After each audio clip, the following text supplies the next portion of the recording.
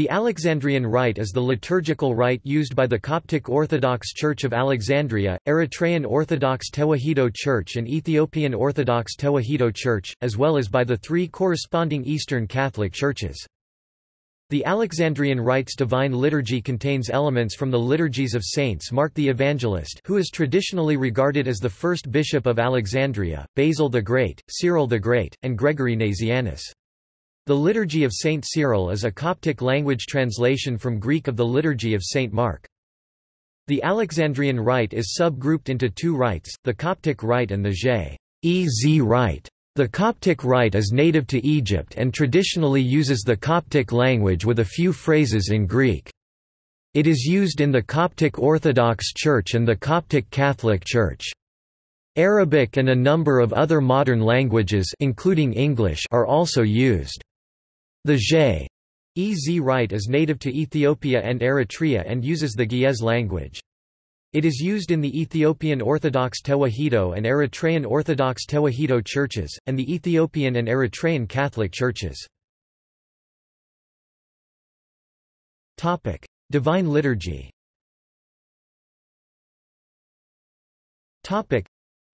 The main Eucharistic liturgy used by the Coptic churches is known as the Liturgy of Saint Basil.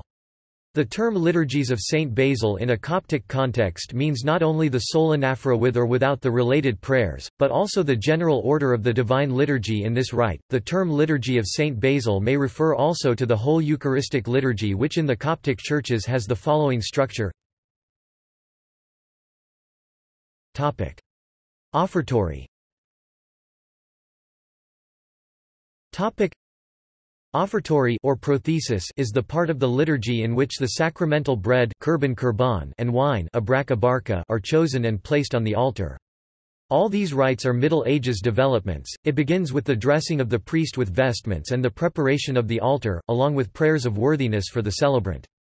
At this point is chanted the appropriate hour of the canonical hours, followed by the washing of the hands with its prayer of worthiness, and by the proclamation of the Nicene Creed. Then takes place the elaborate rite of the choosing of the lamb, while the congregation sing 41 times the Kyrie eleison, the priest checks the wine and chooses among the bread one loaf which will be consecrated the lamb. The lamb is cleaned with a napkin and blessed with the priest's thumb wet of wine. Afterwards the priest takes the lamb in procession around the altar and the deacon follows with the wine and a candle. At the altar, the priest, with appropriate prayers, blesses the lamb and the wine, places the lamb in the paten and pours wine and a few drops of water in the chalice the chalice is stowed into a wooden box named ark on the altar. The last part of the offertory resembles an anaphora. After a dialogue, the priest blesses the congregation and proclaims a prayer of thanksgiving, giving thanks to God for his support to us, and asking him for a worthy participation to the liturgy.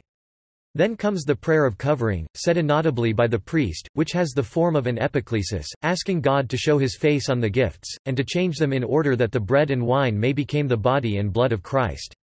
This text might come from an ancient anaphora or simply be a later High Middle Ages creation. The paten and the ark with inside the chalice are here covered with a veil. Liturgy of the catechumens In the liturgy of the catechumens the readings from the New Testament are proclaimed. This portion of the Divine Liturgy was in the ancient times the beginning of the liturgy, and the only part which could be attended by the catechumens. This part is roughly equivalent to the Liturgy of the Word in the Western rites. It begins with a penitential rite in which first the priest prays inaudibly Christ for the forgiveness of sins the absolution to the Son and then all the participants kneel in front of the altar and the celebrant, or the bishop if present, recites a prayer of absolution the absolution to the ministers. The reading from the Pauline epistles is preceded by the offering of incense at the four sides of the altar, at the iconostasis, at the book of the Gospel and at the faithful in the nave. In the meantime the faithful sing a hymn to Mary and a hymn of intercession. The Pauline epistle is followed by a reading from the Catholic epistles, and by one from the Acts of the Apostles. Another offering of incense is conducted the praxis incense, similar to the Pauline incense except that only the first row of the faithful is incensed. A reading from the Coptic Synaxarium can follow. After these readings, the Trisagion is sung three times, each time with a different reference to the Incarnation, Passion, Resurrection, thus addressing the Trisagion to Christ only. After the Trisagion follows a litany, the recital of a psalm and the singing of the Alleluia, and finally the proclamation of the Gospel from the doors of the sanctuary. The sermon may follow. Liturgy of the Faithful The Liturgy of the Faithful is the core of the Divine Liturgy, where are placed the proper Eucharistic rites.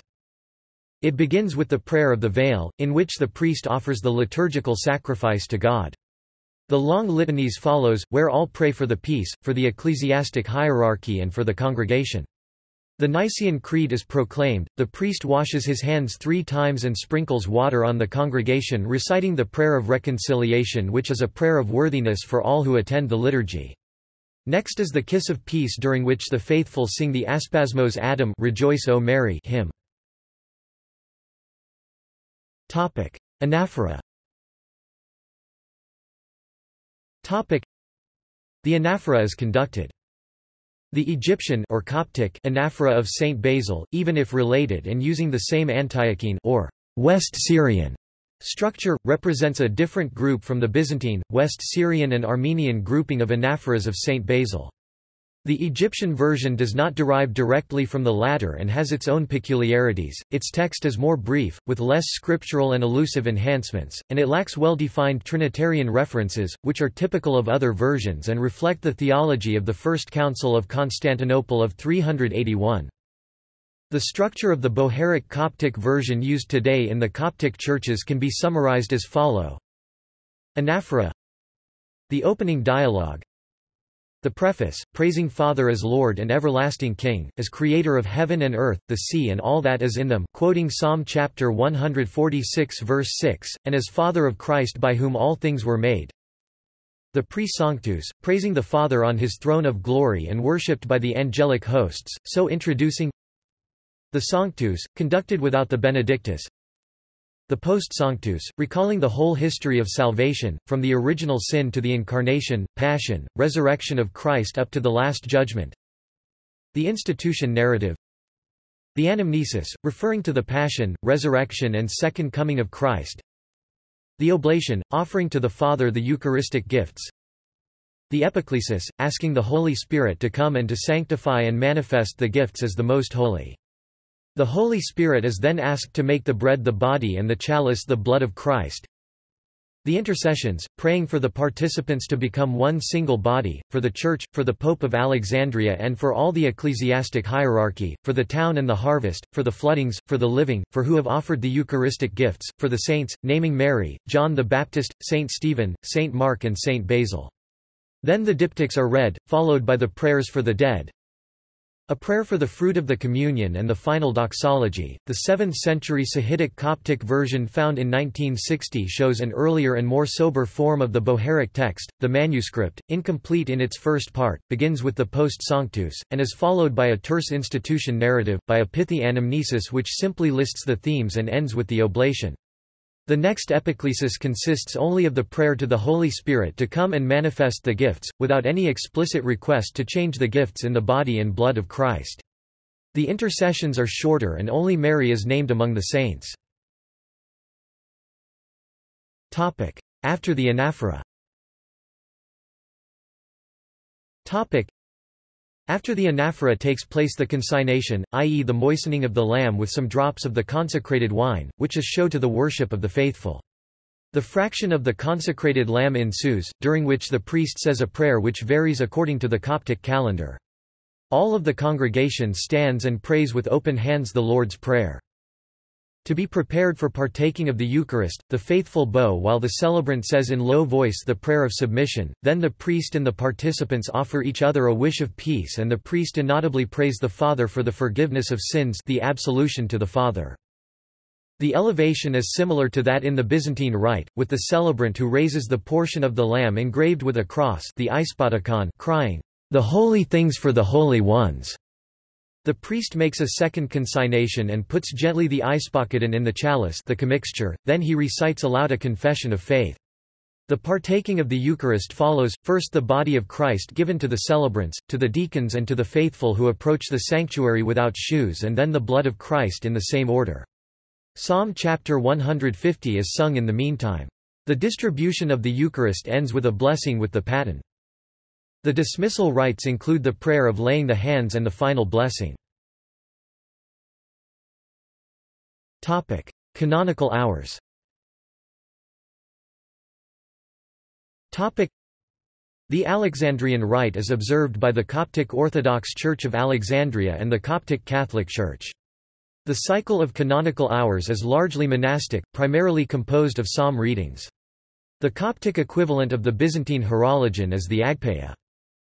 Seven canonical hours exist, corresponding largely to the Byzantine order, with an additional prayer of the veil, which is said by bishops, priests, and monks something like the Byzantine midnight office.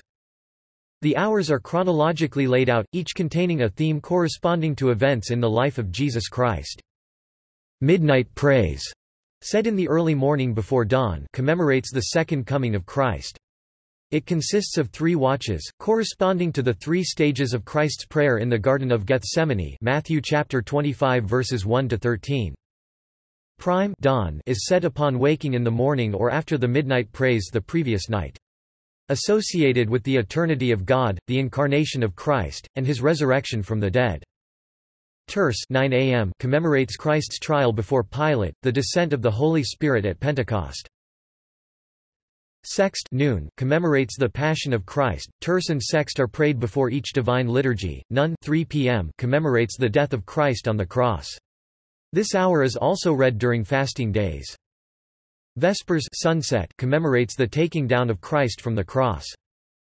Compline 9 p.m. before bedtime commemorates the burial of Christ, the final judgment. Vespers and Compline are both read before the liturgy during Lent and the fast of Nineveh. The veil is reserved for bishops, priests and monks as an examination of conscience. Every one of the hours follows the same basic outline. Introduction, which includes the Lord's Prayer, Prayer of Thanksgiving, Psalm chapter 50 LXX. Various psalms An excerpt from the Holy Gospel. Short litanies. Some prayers only during prime and compline. Lord have mercy is then chanted 41 times representing the 39 lashes Christ received before the crucifixion, plus one for the spear in his side, plus one for the crown of thorns. Prayer of Holy Holy Holy. And Lord's Prayer. Prayer of Absolution. Prayer of every hour References.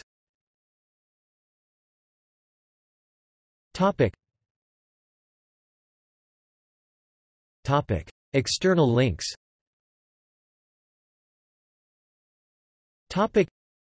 Eastern Rites, A Family Tree.